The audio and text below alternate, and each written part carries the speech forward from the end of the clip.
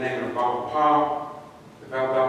times, we know, actually published lies, and we see the same trend developing concerning the renaming of Forrest Street.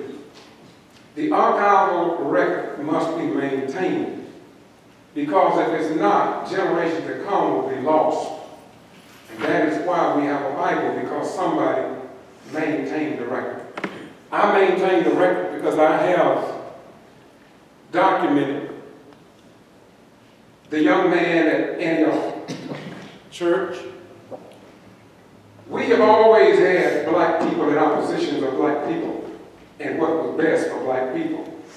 We had blacks that stood against themselves being free. So we are used to that. But I would like to say that the Bible part, all been documented. Major portions of it was in the Lake Park Post.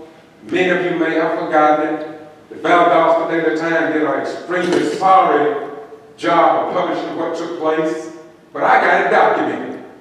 I got it better documented than CNN, or 60 Minutes or 48 Hours.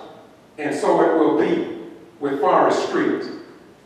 I have also given you all, I mentioned to you, you Google the renaming honor, in honor of President Barack Obama. You will see cities across this nation giving that honor to the first black man. My grandparents died and never got the opportunity to even vote for a black president. And so I want to leave this with you.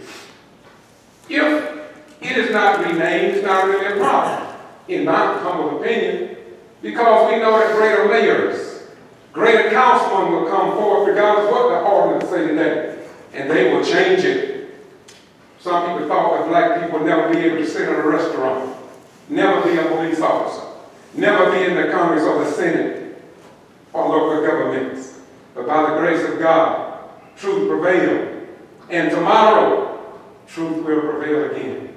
And so I'm asking you all, regardless of what your ordinance is, ordinances can be changed if you really want to do it. Hollywood, Florida, Google it and see what they did. Not blacks. Black and white came together.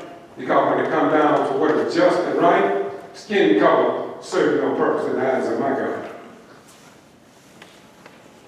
Thank you. Is anyone else in the audience who would like to speak?